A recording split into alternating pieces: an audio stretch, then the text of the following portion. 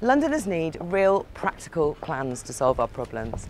Our policies with fare cuts for outer London, investment in cycling and people-friendly streets, cleaner air, a renters union, no more estate demolitions and building alternative to the big developers have been rated perfect, 10 out of 10 by the Clean Air in London campaign.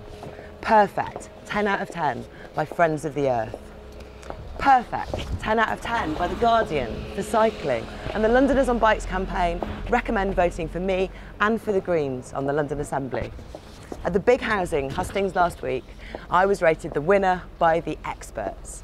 And our policies have the highest rating from Generation Rent for standing up for private renters like me.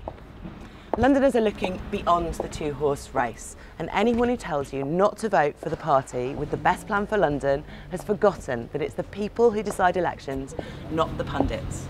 We all have two votes for mayor, and voting for the Assembly is fair and proportional, so all Green votes count with no need for tactics. So stand up for good ideas, vote for me first for mayor, and vote for the Green Party on the orange ballot paper this Thursday.